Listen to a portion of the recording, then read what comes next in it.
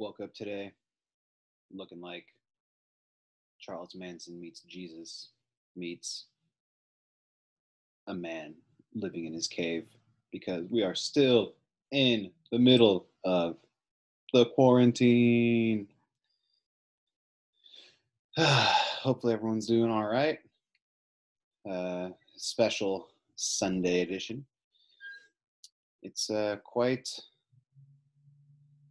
quite interesting these days. Everything that's going on in the world. The police brutality protests have effectively gone global. You can see massive gatherings of people, anywhere from a few hundred to tens of thousands strong in different countries worldwide, protesting the unnecessary use of force by police officers. I don't know what to say about it. It's hard to really wrap your mind around what's going on. I think it's incredible to see so many people coming together. It's incredible to see something that is happening and occurring in all 50 states, which is something that I don't remember seeing post 9 11. And as horrific as that time in our history was, to see that 50 states come together so strong, everyone with their flags out, everyone in a state of hyper patriotism, standing arm in arm with their neighbors. Up, oh, we have the entrance of my good friend Michael Alpers. He's grown out his hair. It's incredible. What up? Dude, you're growing out hair, bro. I know it's crazy, right? So are you, though. Well, I mean, it's not like I haven't seen that before. Dude, I, I, was just saying before you hopped on that I look like some fucking Jesus Charles Manson hybrid right now, dude. I just need a little fucking little swastika in the middle of my fucking oh. forehead, and I will straight up be. But I can't because I got the Bob Ross on. How can you be anything like Manson when you're creating birds out of mistakes? maybe maybe maybe Manson if Manson and like Jesus were sexy studs then maybe but dude. look at me I'm I'm trying to get the Bob Ross going on here. If I dude, keep it up I'll you, get there. you got to dude. I've always been so jealous of my cousins because they have super curly hair. Ever since I was a kid I was like when I get older I'm gonna fucking Jheri curl this shit. I'm gonna look like I'm gonna look like some 1970s funk singer just on stage blasted I can't play. Curly hair man. It's the curly hair that's fucking hilarious, dude. What is up, man? Not much, man. Uh, I was just commenting before you hopped on about the fucking craziness going on in the world and how I've never seen a movement quite like this span not just all 50 states, but it's gone global. Every country that has any sort of freedom is, oh, dude, you got the fucking Deathly Hallows going? What a cool. Oh, shit, yeah. dude, what a coincidence, bro. Let's go. Cheers, baby. It is on, baby, like Donkey Kong. I was saying that 9/11 was probably the one time in my history of living on this planet that I can remember 50 states doing something in lockstep together. Yeah, that's true. After 9/11, everyone had their flags out. Everybody was hyper patriotic, standing arm in arm, denouncing terrorism, and in some capacity, we're seeing that play out right before our very eyes here with uh, this police brutality movement. It's true. It's fact. I think it's long, long, long needed as well. Um, it's funny, 9-11 even brought the Democrats and the Republicans together. I remember how unified even those clowns wanted to be during that time. But it's um it's it's very interesting times, um, especially since considering there's a pandemic going on. And despite that, people still brave the streets to protest. And and I thought it was really it's really unique and incredible to see. Um, I think going forward, I, am hoping this means that we're just going to have less tolerance with bullshit, honestly. And I think this kind of sort of proved that, right? Because look at look at Atlanta's burning now, just like a, after after another shooting, which which which, which begs to begs to reason like why why could you guys have waited like two weeks or something, right? Like I, I know it's kind of like almost sadistic to say it that way, but it's like, dude, are you unaware of what's going on right now? everybody everybody's in such a hyper sensitive state in all sorts of different emotions, right? Whether they're hypersensitive yep. to, uh, you know, the health and wellness of their you know fellow Americans, whether they're hypersensitive to the you know the hyper politicization of you know what's going on between the movements and people exercising their First Amendment right to protest. Mm-hmm. It's it's incredible, man, and the amount of jumping back and forth that I've seen from all the major news outlets, specifically the CNNs and the Fox News of the world, right? When you had those protesters storming Michigan's Capitol, strapped to the teeth with bulletproof vests and AK-47, CNN was talking about how don't they understand that they shouldn't be protesting right now? You know, there's a pandemic going on, and then four days later, you see the horrific incident between George Floyd and the Minneapolis Police Department at the hands of an officer who not only had direct connection to George Floyd by all accounts, they used to work at a at a bar as bouncers together, but mm-hmm.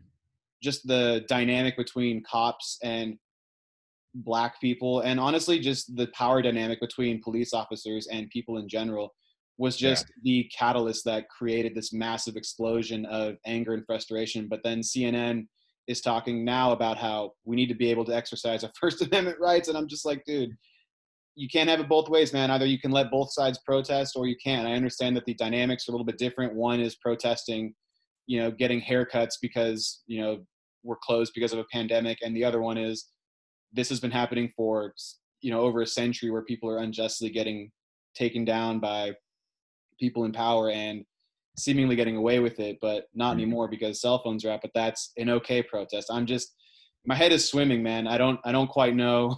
I don't quite know where i should be on this it's true. I, you know, I, I think what's important is you're, you, you tend to have very liberal views, but at, at the same time, you could still call CNN on their bullshit. Um, cause that's kind of where we're at, right? I, it's both sides doing the same thing. I, I would argue that CNN seems to be more logical most of the time than Fox News, but it's, it, it's sort of the same thing, right? It's, it's a contradiction if you're going to allow it one way or the other. Um, I don't think you can look at it objectively and say, hey, well, one person's arguing for a haircut and one person's arguing for black rights. I think protesting should be allowed on both sides. I would maybe sort of highlight the fact that you have armed protests for haircuts and nobody was arrested. Yeah. Um, but then you have very peaceful protesting. Obviously, there was some looting and rioting, but a lot of the cops targeted very peaceful protests. There's a lot of people, a couple people that lost their lives that weren't doing anything other than standing there and just trying to be part of a protest. So I think where we need to be is kind of sort of unified on what's what's police brutality, what isn't, and what what should be done about uh, about the police departments going forward, um, amongst other things. So, as one of one of the people whose opinion I probably value as much or more than anybody else, as someone I consider a peer and a close friend, what what is your opinion on the movement to abolish the police and i and i don't mean that in the same sense of the actual word abolish because i think that term is being thrown around pretty cavalierly mm-hmm. i think most logical people are asking for police to be better trained and to perhaps not handle situations that are not inherently violent in nature you know um, yeah. so so i think perhaps the way to look at it is not abolishing but restructuring retraining reallocating funds to different resources that mm-hmm. enable police to do the the difficult job of tracking down really horrible and heinous criminals, but also not putting them in a situation that's hypersensitive where they have to navigate a domestic dispute or somebody who is perhaps on substances that isn't in the right state of mind you know because they're not necessarily trained in those in those capacities. So what, what is your opinion on the whole abolish the police movement as more of a means of reallocating funds and working towards better resolutions versus getting rid of them altogether well, for starters, uh, I mean, I think abolish is a better word than defund. A lot of people use the defund term, and the problem with that is it sets up the it, sets up an incorrect precedence of what we should actually do. I think there are people, and remember, there are a lot of I don't want to say uneducated, but poorly educated people who really truly feel that defund means like no police department. It's going to be the lawless wild wild west again, right? Defund, I think, obviously means re reappropriate the money in different ways. Like, let's just look at the facts. The police department is it's ineffective, right? They solve very few amounts of crimes. Um, a lot of times they tend to do a lot more harm than good in a lot of way. And the problem with the police department is they are almost always, in fact, I think always the largest um, city budget uh, for for every city. It's the largest budget on well, on, on, on file. Right? I don't mean to jump in, but uh, one of my really good friends, you you know, uh, you know, my friend Zach and his wife Milda, she sent yeah. me a she sent me a 2018 budget, uh, fiscal budget from San Diego, and this is you know simply an anecdotal story about one particular police department, but the I think depending on the size of the city, the funding is probably relatively accurate. So their fiscal budget was somewhere around 1.6 billion dollars, and mm-hmm. 450 million of that was to police enforcement. Yeah, and if you look at the LA one, it's like 3.8 billion dollars of their city budget is their police department, but you have very very small amounts of money that's uh, uh, it's set aside for education for for teachers funds for for things that actually do things on, on on a daily basis. And the problem with the police department is a lot of money that you have to pay to have a 24 hour surveillance right? Um, and it, it sort of just starts there. I think there's a lot of money we can take from those budgets and reapportion it. For example, why why is it that police officers should have to respond to like a, a noise complaint, right? Because what's going to happen when when you show up to a party and you have a bunch of drunk people, people acting belligerent and, and, and things of that nature, you're going to have a violent episode where there doesn't need to be a violent episode, right? It's like the Wendy's situation in Atlanta last night. The guy was drunk, obviously, um, and he stole the taser from the two dudes, the, the, two police officers, right? He was able to commandeer the taser, and then he ran away and they shot him, right? That's probably a situation that doesn't necessarily need that much force in, in, in hands. And like you said, eh, you take some of that money, obviously, you reportion it to to perhaps training. Um, why can't two fully trained police officers apprehend one male?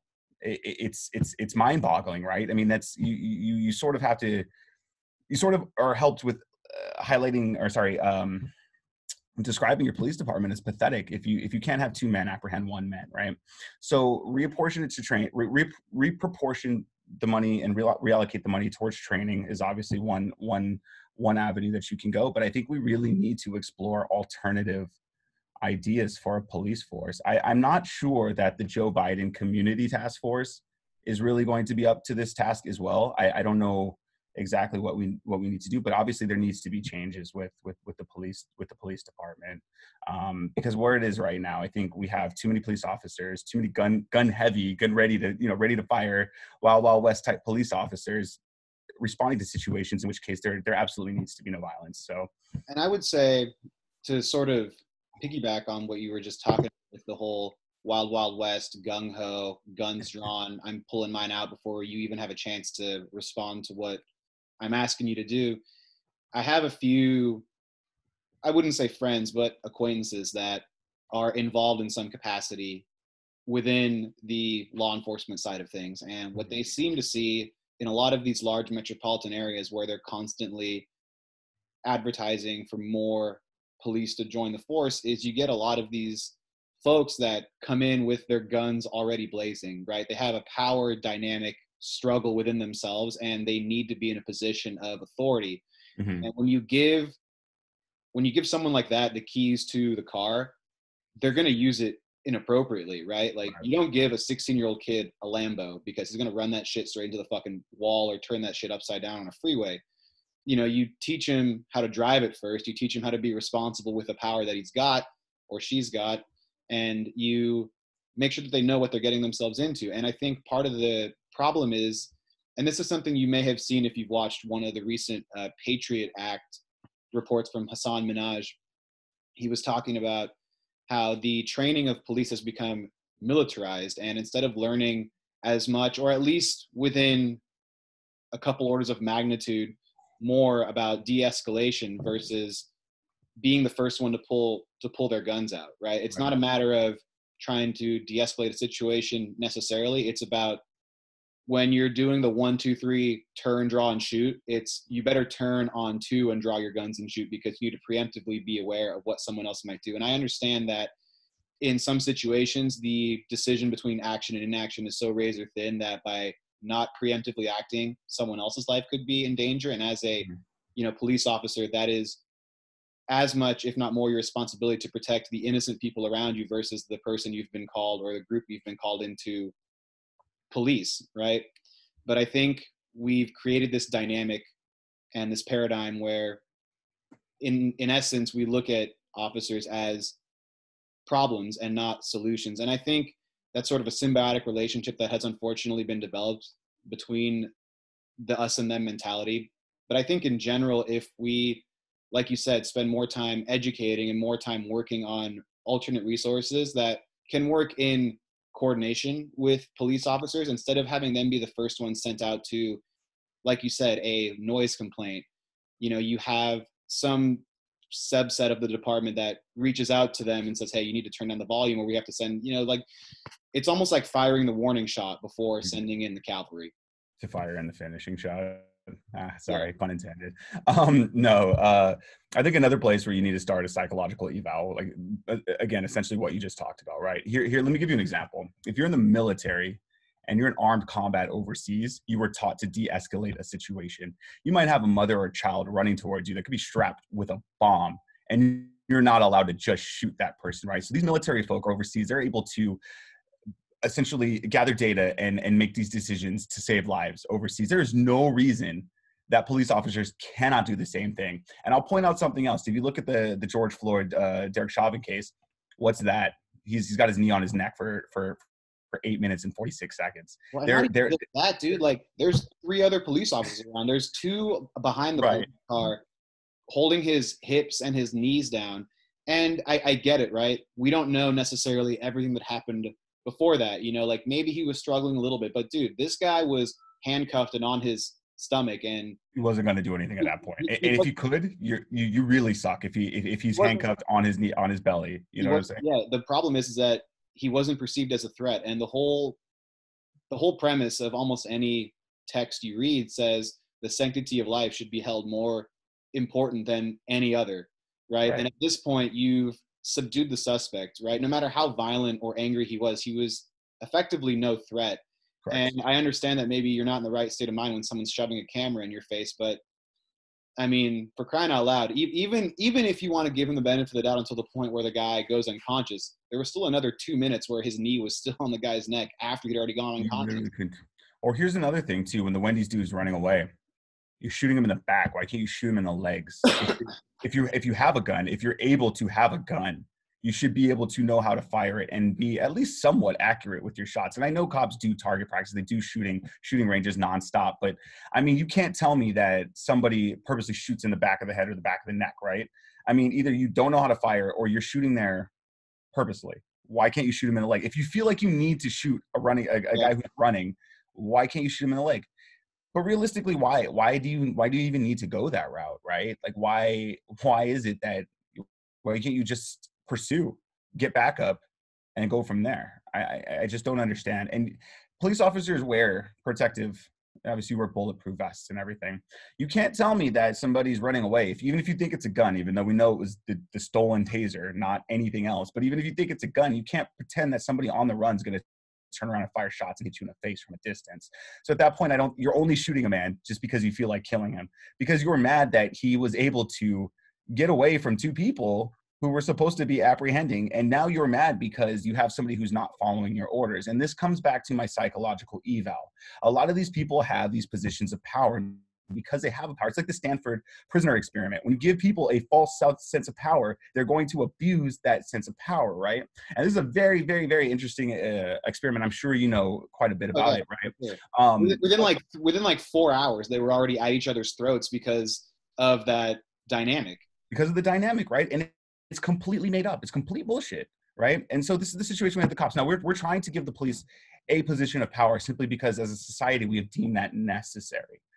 But at the same point, you have to have people who inherit this power without the intention of abusing this power. And we know human beings tend to abuse power. It's just it's just normal human nature. But getting upset because someone's not listening to you and administering deadly force is not an appropriate usage of power. I'm sorry. If you feel if, if you get that upset because someone doesn't want to listen to you, you cannot be a police officer. And we need to have psychological evaluations that can identify this and prevent these type of people from getting jobs.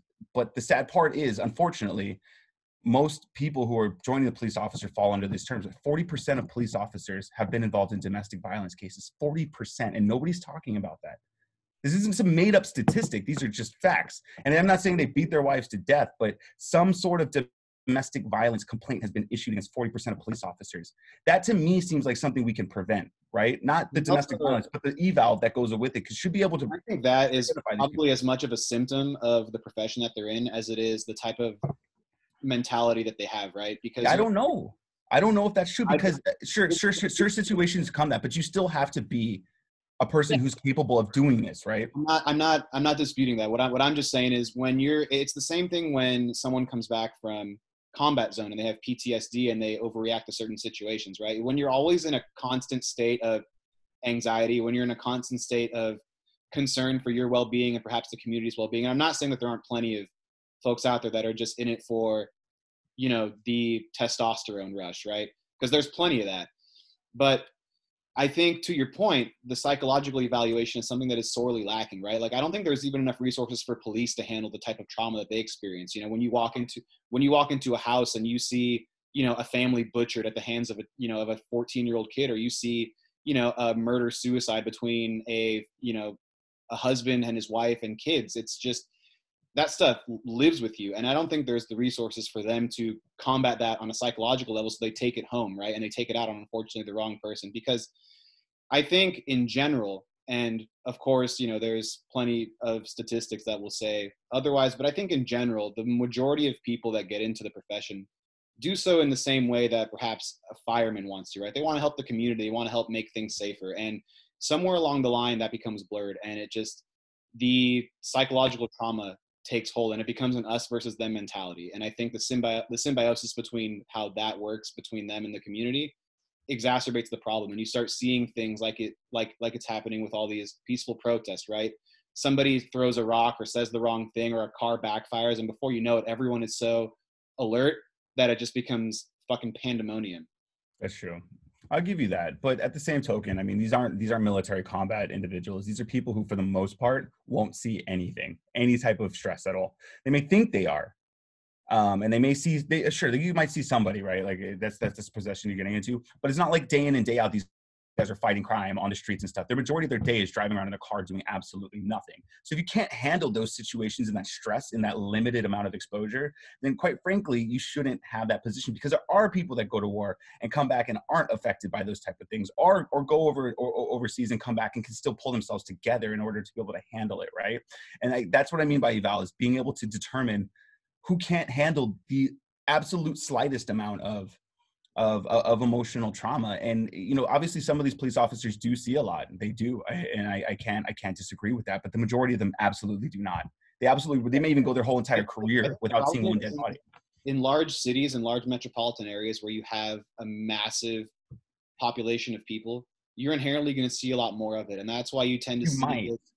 Because remember, in, in, those large metropolitan areas, there's also a lot more police officers. So the chances of you being the one to respond to anything in particular is very low. So, uh, and, and even if you are seeing crime or violent crime, I don't think you're seeing it enough where it's going to be anything more than watching a movie and watching 50 people die, right? Like you're going to see it in limited exposures. Maybe you're going to see some sort of. I, I just don't think that it's enough for where to be like, hey, let's feel sorry for these officers for what they have to go through. It's, you know what I'm saying? Is that is, does that make sense? No, it makes total sense. But I think statistically, right, there are roughly, I mean, there's tens of millions of interactions between police officers and people on a yearly basis. And right. over the last five years, the average number of police fatalities by gunshot has, is about a thousand. So, I mean, if you extrapolate that, we're talking about the odds are one in 10,000, which is, of course, not i mean it should be it should be zero right like in in the instance unless it's absolutely and i mean so necessary where someone's life is literally hanging in the balance, then I totally, you know, I, I can understand the justification for it. But I think there are enough cases that this happens where folks seem to be able to skirt responsibility for it, and then you have unions that are protecting the bad eggs.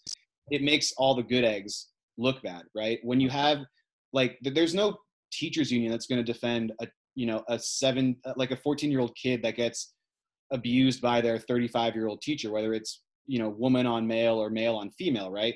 There's no mm-hmm. teachers union that's going to defend that. But when you have these institutions that are protected by you know the shield that they wear and you have this this this whole top down mentality where we have to all defend our you know defend each other i mean the the goal shouldn't be to defend each other. It should be to defend the community right? And as soon as you have a bad egg you need to get that bad egg out and i think that's sort of where the the larger problem comes into play is that it's hard to have trust in an institution where the institution works so hard to defend itself that it won't necessarily take the bad eggs and put them out.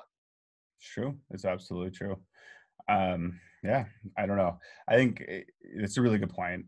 I find it difficult to to defend police officers for their actions simply because you can always choose not to be a police officer, and that's at the end of the day, if you can't handle it, you shouldn't be there. So when you shoot a when you shoot a man running that doesn't need to be shot and killed, like you should be fully responsible for those things.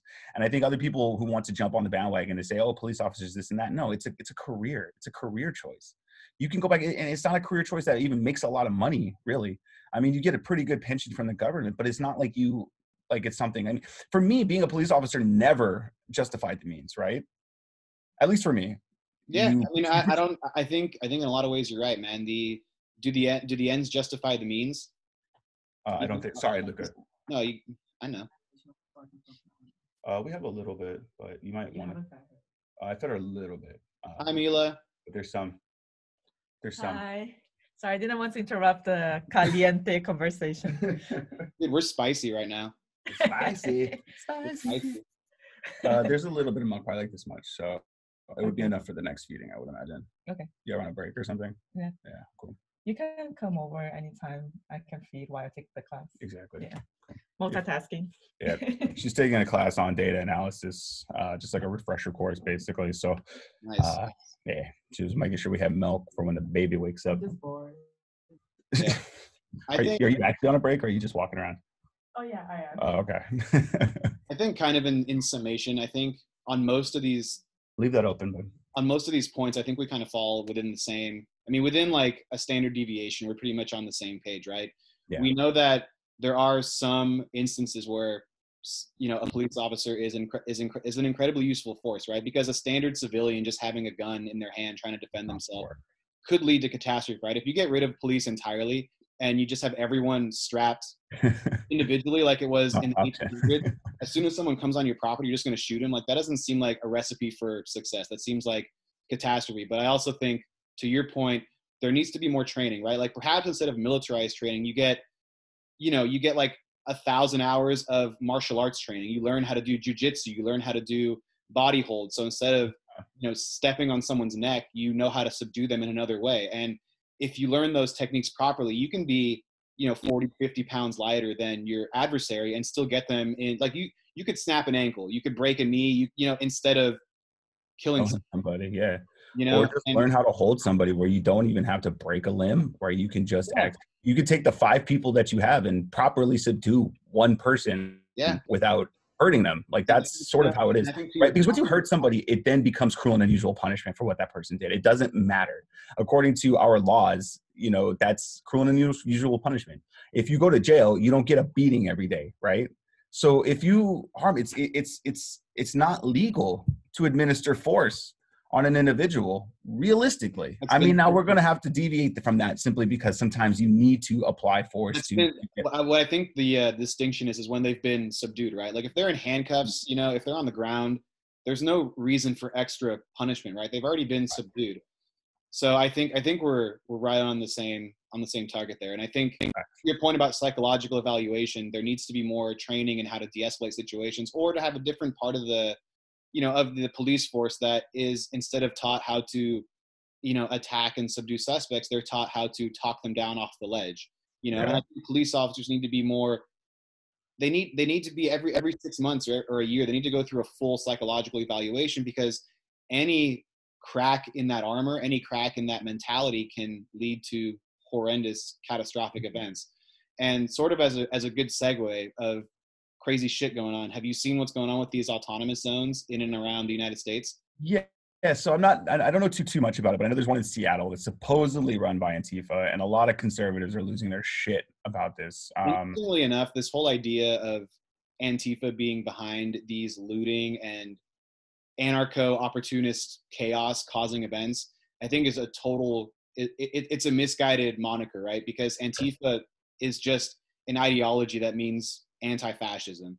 I think these folks that are donning all black and and smashing mom and pop businesses and taking shit are not Antifa. I think they're just anarcho opportunists looking to hijack a protest as a means to break shit and steal stuff. Sure. I don't I don't think they're part of the protest. I don't even think they're really Antifa. I think they're just they're just looking for chaos. But Yes. specifically, what I've what I've heard about these uh, autonomous zones is in Seattle they've taken a five block radius around the Capitol Hill, um, and they call it Chaz, the Capitol Hill Autonomous Zone. And what they've done is they've basically gotten rid of government officials and the police in that area. And immediately, the first thing that you heard on Fox News three days ago, without any actual judicious journalism or reporting, they the first thing they said was, "We heard a rumor that these Antifa folks that own this autonomous zone in Seattle are." Robbing and extorting small businesses for money and protection right basically making it sound like fucking all. making it sound like Al Capone just came back from the dead and is now taking over Seattle, right? Immediately the next day, not only did the police chief of Seattle say that's not true, but there have been at least half a dozen small businesses that went on record to say this is the this is the most safe we've ever felt in our lives. We've taken down the boards off our windows. You know, we're not worried about riots, breaking shit because there's Mhm. no animus between law enforcement and individuals. And here we are, two days, three days after Fox ran with this story, like you know, like a chicken with its head cut off, and you still haven't. They still haven't offered a retraction for effectively ins- instigating a conflict that didn't exist. I mean, perhaps at first it seemed like shit was gonna hit the fan, but by accounts that I've read through the Seattle, like the, the small independent Seattle newspaper that's up there, USA Today, Business Week. I mean, we're talking at least a handful, if not more, of you know reputable or you you know what I mean. These sources that you know you can actually trust more than you could trust an institution like Fox News telling you exactly the opposite of what they're trying to feed. We know what Fox News is good for. I, you know, I don't like to talk shit about that side of the political spectrum, but these followers tend to not really care about actually diving down and getting information. They like to listen to what Fox. This is the easiest, the most easiest manipulative group that exists in America because they are. Mean, very passionate for for who they are and, and whatever her- heritage that they claim that they have, but it's obviously deep rooted racism that's that's involved here, and it's very very it's very easy to pull the strings of emotional individuals who don't actually want to get educated. Five year heritage of the Confederacy, which literally only existed for the five years during the Civil War. Yeah, except yeah, and by existed you mean not recognized by anything other than itself, um, except for when British, the British and the French momentarily um, contemplated joining the Civil War down in 1863. This is an area of my expertise, actually. Um, obviously, I'm a historian, but yeah, it's I, I it's a group of people who are, are more motivated by emotions as opposed to actual fact getting. So Fox News does a, a brilliant job in my opinion, in, in in in in the way that they pass their information. And by that I mean just by not giving a fuck and saying whatever they want. I mean, they can come on radar tomorrow and say Obama Obama murdered somebody, and their their followers would absolutely eat that shit up and believe it and post shit about it without even checking to see if it's even remotely true. Um, so for that nose, I think Fox does a tremendous job in what they're doing. Um, that'd be the only compliment I would ever give Fox News for that. For that, but as far as the what I would say for the Chaz zone, then specifically, I mean, eh, eh, you know, the one the one I guess area of caution that I would stress is this is now, right? And this is going to work for a few months, a few weeks, but inevitably people are the same, and somebody's going to want more power, and that's how it goes. And if you're actually pulling out um, law restrictions or any type of regulation border there, uh, it's going to be inevitable. Sorry, my baby's waking up. It's going to be inevitable before. Let me just adjust her. Her she has a moving bed. It's called a it's called a snoo, so I can adjust that back to swaddle her. Let me see if she falls back asleep. Um, Wait, inevitably, wait, wait, hold on, inevitably the hold on, system will break. What was hold that? on, Hold on. You're, you you can rock your baby to sleep from your phone. Yeah, so we have this thing called a snoo. Um, so the Scan- Scandinavians are amazing, especially when it comes to Of course they are. And I Dude, guess of this course they are. They have great health care. Everyone's fucking happy, and you're only working 30 hours a week. This is what happens when you take care of your people. They invent better shit. So they have this bed that a basically rising tide lifts all boats, man. If you bring up everyone from ground zero to like a median level, everyone's gonna be happy. This whole idea that like everyone's equal now is ridiculous because they're not. We're talking about 50 years ago was the first woman who integrated into an elementary school, and people are talking about fucking civil rights like it was in the fucking 1700s. This shit was literally like my grandparents are older than this. This is Mhm. fucking insanity. People just like think 40 years ago, the interracial marriage law was finally retracted. Like, are you kidding? Are- yeah, it's it's it's unrealistic. we're so far behind the rest of the world in terms of just like racial equality, sex, sex, uh, the gender equality, uh, LGBT equality. Like it's it, it's unreal. It almost makes you think like, how are we even a, a, a first world country? How are we a leading power? Even beyond that, I mean, even if you want to take you know the race and gender stuff out of it, the way that the government quote unquote takes care of its people is so draconian when you compare it to every other first world country that it's almost mind boggling yeah. right? Like imagine how different the world would be. Imagine how different urban communities would be. Imagine how different every community would be is if nobody was worrying about struggling to get you know to get help when they have to go see a doctor. If they can go to a school that has textbooks that aren't 20 fucking years old. If they have facilities that are actually useful. If they can get food and fed i mean basic needs. We're not talking about giving everyone a fucking mansion on the upper east side of new york you right. know?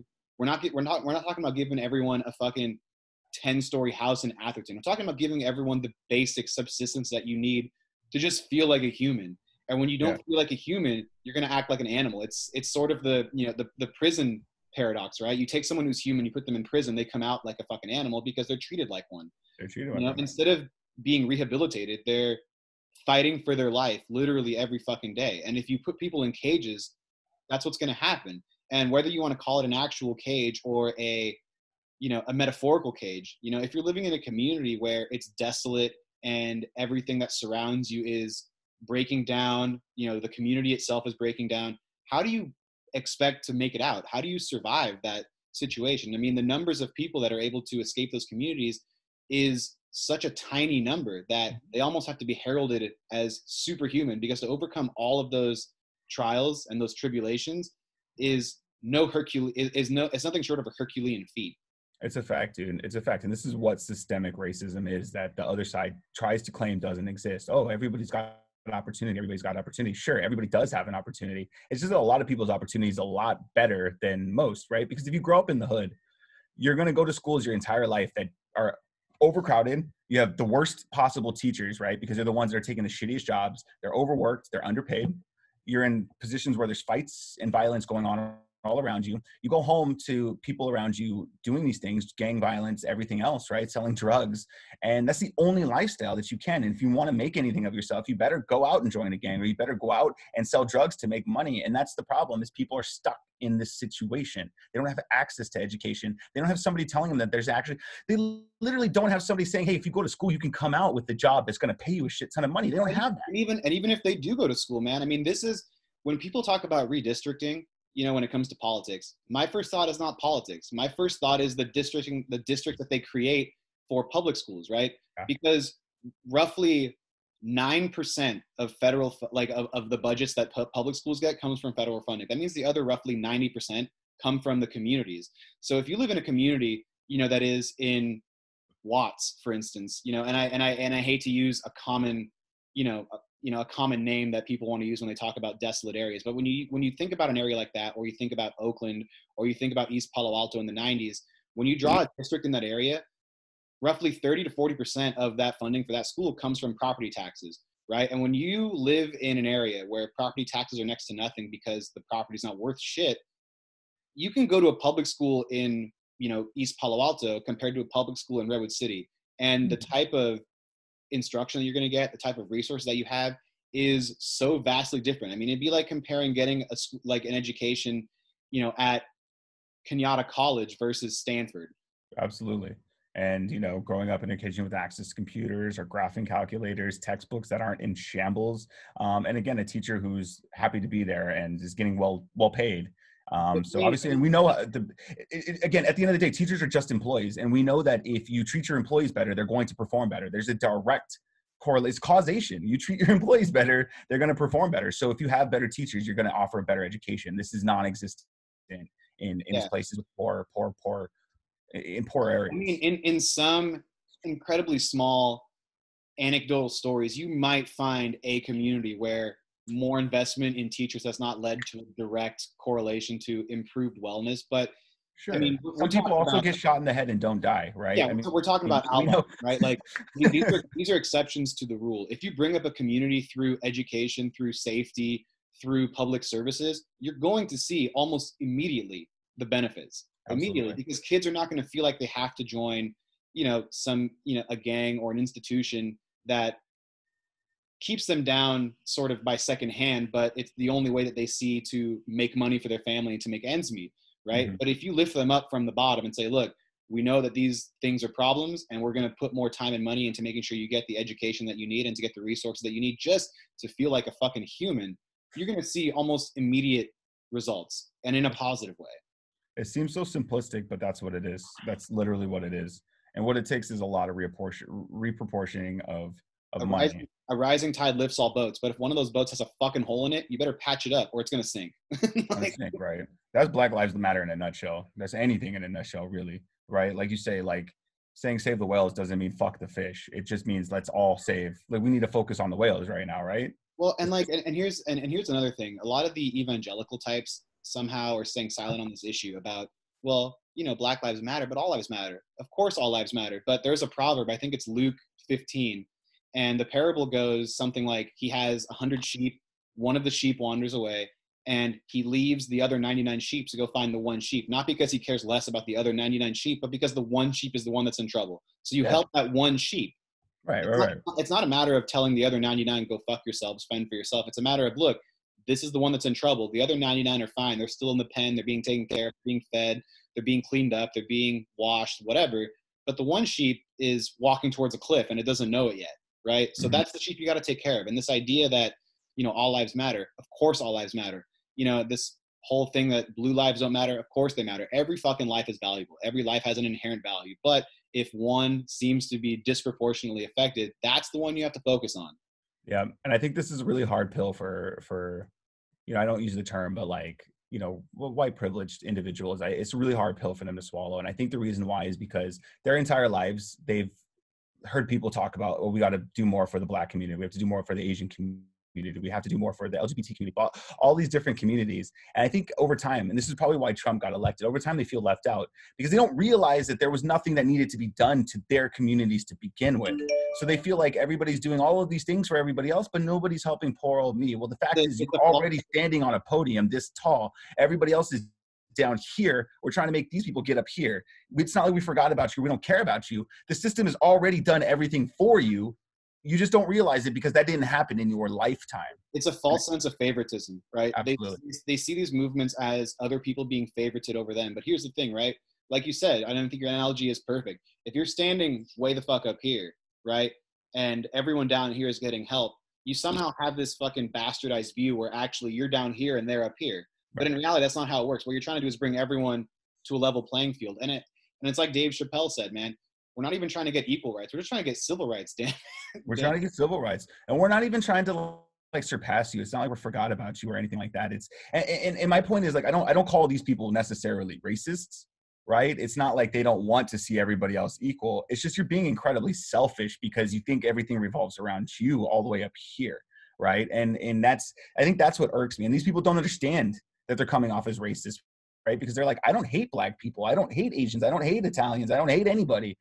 Right. But at the same time, you're failing to see that these other individuals actually need some help and support. And you're more focused on the fact that you can't get a haircut, Karen. And that's I think that's that's that's really people don't want to. People see these movements as inherent attacks against themselves, absolutely and, and I think if everyone just adopted this mentality that your neighbor on your left, your neighbor on your right, and your neighbor across the street should all be afforded the same basic liberties and freedoms and help as you do, then I think it's a lot easier for them to understand where it's coming from. But you know, like you said, man, when you're indoctrinated into a particular way of thinking and a particular way of life, and you keep watching stuff that reaffirms those thoughts, you're gonna have a very fucked up view on what's actually happening right? Like you're gonna see these you're gonna see these movements as oh my god like look at them burning these these buildings down. Look at them doing this and doing that. Like how how can that happen? And i'm like i mean what the fuck was america founded on? Like do you remember the boston tea party? And like i understand that perhaps new england wasn't being burned to the ground but the idea is the same. You're attacking the institution of your oppressor right? The oppressor was Thomas Thomas Jefferson signed the fucking Declaration of Independence. His signature's right there. He helped put the thing together.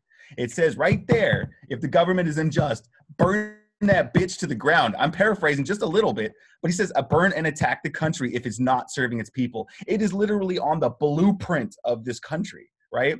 But there's a famous saying that says if it's a protest, a protest can never be right. You will never protest the right way, right? Because in theory, if you're protesting, your your people up at the top, if if there was a right right to protest, there would be no reason to protest, right? Because the system would be fair. So you wouldn't have to stand outside and picket signs and peacefulness and bullshit. These riots over the last week, like you said, is the first thing you said in this conversation. They've done more for the black movement than four five hundred years of standing around trying to be peaceful about this situation right? I mean there's legislation all over the country that's changing as we speak in terms of this. This is this is proper protesting. And and like i said you talk about you know oh there's a peaceful way to protest there's a peaceful way to protest. There's certain individuals who like i said if you if you continue to stay peaceful nothing will change nothing has changed nothing will change And I will say that, like, on that same token, I do personally, the idea of destroying small businesses is not being done by the protesters. no you know, i know for a fact and I yeah. think, and I think the intentional obfuscation between right wing, super conservative pundits and that that narrative is inherently further making and castigating these protests as inherently un-American. It's just a deflection tactic. That's all it is. Is to to go out and do damage and deflect the time. It's like anybody who says MLK didn't peace or MLK didn't find the need to to burn down buildings. Yeah, but MLK was assassinated, bro. Like what what, what you know? It, it's just a deflection tactic instead of or people who are all like you know a lot of people got angry about the protests and the violence and the riot, but they weren't angry about George Floyd getting getting murdered. Right? It's again, it's a deflection tactic you want to take away from the real issue by saying, "Hey, look," or like when Colin Kaepernick knees for the flag, oh, he's being disrespectful for the troops. Well, Drew whether or not whether or not he is being disrespectful, whether hold on, whether or not he's being disrespectful is is is entirely your opinion. I don't care what you think. I don't care what anybody thinks, right? But the moment is the fact that you're starting to pay more attention about that instead of what he's actually protesting is a deflection tactic, right? Exactly, and you can see that firsthand when you see these fucks like Laura Ingraham say four years ago, he should just shut up and play. LeBron Yeah, should just shut up. LeBron James, shut up and dribble. James- LeBron, Shut up and dribble. yeah, which should just shut up and dribble. But then when you know the left wing, and, and, and again, this is how these two play this fucking seesaw game because they're both basically two sides of the same bullshit coin. It seems like in some instances. Then you see Drew Brees coming out and saying, "Well, you know, I would never disrespect the flag," and then Laura Ingraham's like, "We shouldn't get on his case. He's you know free speech." just and stating his opinion. like dude hmm, Yeah. i wonder I, I wonder why this is okay but this this other form of protesting colin kaepernick taking a knee which had nothing to do with the troops this whole idea of being un-american no dude protesting and taking a knee is exactly american that's about as american as it can be like literally the first fucking amendment in the bill of rights is to protest your government in some capacity when you see Well, the first thing we did as like an organization was protest, right? we're like, hey, King George III, we don't really like you, so we're gonna like protest you, and yeah, we're gonna throw some tea over the side of the fucking ship, and light it on fire and whatever and, and do a bunch of other things, right? That's a protest, bro. And like, if you don't like protest, then you have to admit that you'd rather be an English colony. You have to. Either that, or you're just a fucking idiot racist. And most people would prefer not to be called idiot racist. So I guess sign us back up. Like, should we call England? Can we make that happen? Like, I'll send an email tomorrow and see if uh see if the Queen's down to just. Well, I mean, invade. look the way the way the way, the way they protect their own, like Prince Andrew and the Duke who used to be married to uh, uh what what's her name, Princess Diana. I mean, you know, maybe it's, maybe maybe it's not so bad. Maybe we should just have the, they should just take us back. We're the you know the redheaded stepchild that was kicked out, and now we want to come back home. Now we want to come back. We ran away from home, home a long time ago, and we're like, we're, we, we made a mistake. Like we come back during our like 30s. We're like, hey, you know, about that. Like, can we can we come home? Can you can you have us a room to rent?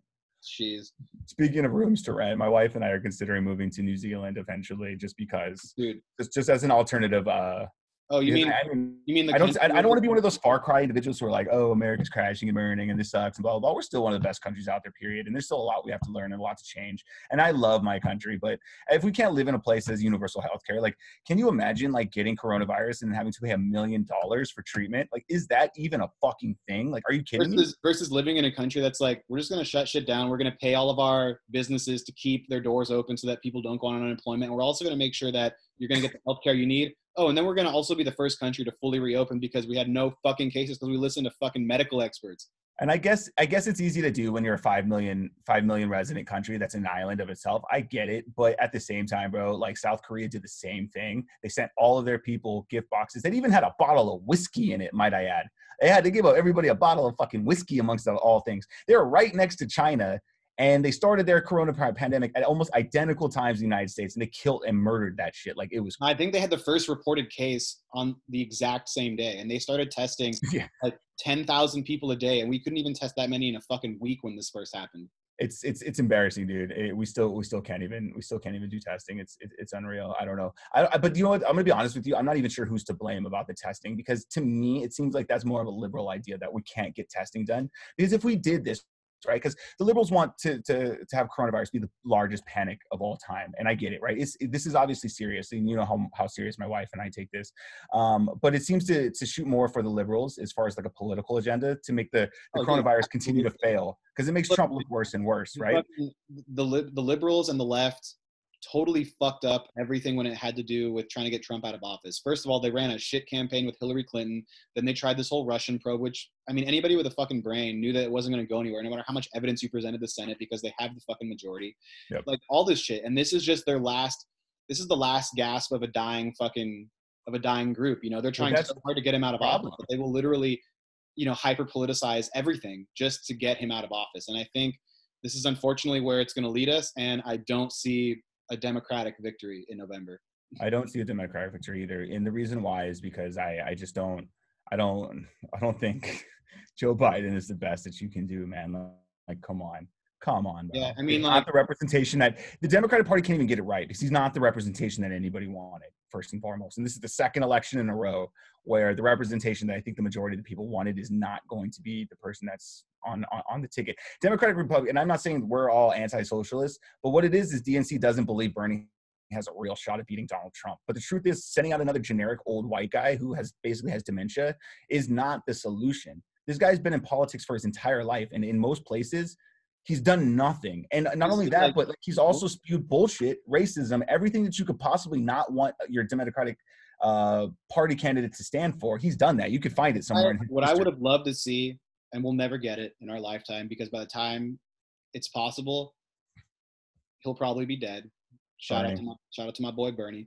But dude, I wanted Bernie too, but at the same time, I don't know that I actually wanted him to win the election because I don't know if we're ready for Bernie Sanders. I don't know if we could have got behind it because the other side will fight anything, right? Socialist ticket, dude, would have been him and fucking Andrew Yang because Andrew yeah, dude, Yang, I'm part of the Yang gang for sure. Dude, Yang fucking gang. Yang gang is like basically Bernie 2.0. So we have at least another 50 years of potentially electing Andrew Yang. So there's there is some good news in that regard but yeah, I, I I'm I'm a full supporter of Andrew Yang going going forward. And you know what? And it's not even because I agree with all of his policies, like policies, right? All the things that he wants to do. I don't even know if I'm necessarily an ardent supporter of everything, but he to me comes across as an earnest individual who wants to try and do the best for everybody. Right. You know, and if you have a ticket that is diverse enough to have the son of immigrants and an old white guy who's basically a fucking socialist, which I think was the whole was the worst way he could have ran his campaign for the Democratic National nomination, right? If he'd have just said something like compassionate capitalism, that would have gone a lot further than to call himself a socialist because people, for some reason, have this idea that socialism equals communism, which it's not, but you know, you can't convince those people otherwise. It's, no, you can't because people are uneducated. It's unfortunate. If you here, here, let me. I'll, I'll explain to anybody who happens to watch this video. If you want to put communism as your scale of one and capitalism as five on a scale of one to five, Socialism can be found right in the middle at three, not closer to communism, not closer to capitalism. It's like the leeway between the two, right? Yeah. Exactly. And and people just don't understand that. And there's good reason for this. During the Red Scare in the 50s, obviously during the McCarthy era, mm-hmm. people wanted, people were absolutely scared of communism and for very good reason, right? I mean, me personally, communism is probably the best form of government, ideally, but it would take for people to understand that no one's better than anybody else and that actually share and work for the common good of human human civilization which will never happen and this That's, is why communism that is the inherent conundrum of, of the whole power paradigm right? Like right right right. And this, this and this will never happen and this is why communism will never work and it, it cannot work because of human nature but in, ideally it's the best. But socialism shares a lot of fundamental similarities between communism that i think can be useful in capitalism if you look at like we talked about the Scandinavian I, I think with the right combination of forward-thinking individuals and not this idea of legacy politics, you can take you can take ideas from all sorts of different aspects of forms of government, right? Like even to a certain degree, like in, in some instances, like in extreme wartime, having someone who's a little bit more authoritarian might actually be useful. In times of, you know, strife among people who are poor and impoverished and being hurt, some form of socialism is useful in an era where certain communities, certain schools are not being granted the same sort of funds just because of the property value in that area. Some form of communism and redistribution of wealth can be useful. This Mhm. idea that we have to live in a fucking binary world where it's either this or it's that and not some quantum state of the two of them is fucking ridiculous. Well, it's also a complete joke and a complete lie. So every time a government gets, I mean, sorry, every time a business gets bailed out by the government, that's socialism. Socialism. And Yep. we already accept that, right? We also accept the fact that socialism is what saved us from the Great Depression, right? It's the New Deal, Franklin Delano Roosevelt's New Deal, and all his social plans. We forget about that. Things like Social Security, for example, social security, right? But people don't understand that socialism's already there, and that's I, I- think that's what we we we just don't understand what this form of government or what I'm sorry what this form of economy actually is, and that's and that's what you know that's what the problem is, and as long as you have rich people at the top that are going to continue to brainwash stupid people into thinking that socialism is the idea because they're the only ones that have anything to lose, right? You talk about big pharma losing money because of socialized healthcare, for example. It- you know, I think what boggles my mind the most is like you can't you want to sit and people want to sit and listen to these guys like they have nothing to lose right? Like oh my god you're right. This wouldn't cost these people millions of dollars. They're telling us that socialism won't work because it really truly won't work. And you're not looking at it like wait a minute it's going to cost them billions of dollars. You don't think there's a reason they're telling you that socialism can't work or certain social policies can't work? You don't think it's that money that's coming out of their paychecks? You don't you don't think that has anything to do? You honestly think that these people care about you? Really? I don't know. Like how can you be so naive? How can people be so naive? But again, we go back all the way to that whole education argument that we talked about. And this is why we're not teaching these things properly in schools to start with. So people grow up with this complete falsehood about what what works and what doesn't and it's embarrassing because if you look across the pond if you look at basically in any first world country you know that there's socialism stamped all over it but if you look across the pond to the scandinavian countries who like you said 32 hour work weeks give everybody money get a year off of uh, maternity leave even fathers get four months of paternity leave off Some of them get as much as six or eight months, even. Yeah.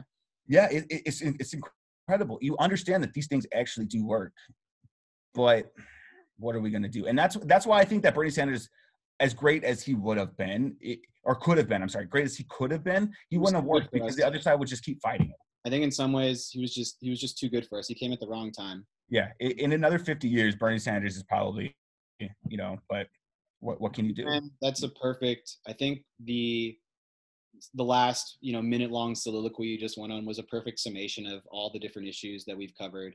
And Mhm. bro, I appreciate you coming on. I know that. And dude, you got a little a little one at home that I still haven't met in person. Maybe I'll fucking have to do a Oh. drive. I'll have to do a drive by one of these days so I can wave. I'll do a you guys can do a fucking royal wave as I drive. I can do the yeah the, the, the turn the hand right.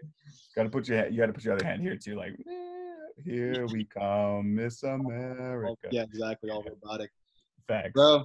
Thank you, man. you're Love you. I love your family. You guys Uh, stay well, and we'll anytime we, we still have to we still have to debate the goat goat argument here so i was excited about that so Dude, next time go, we're gonna go, have to go, man. Because I think we both have to come to the fucking realization that Joker's gonna take it all, dude.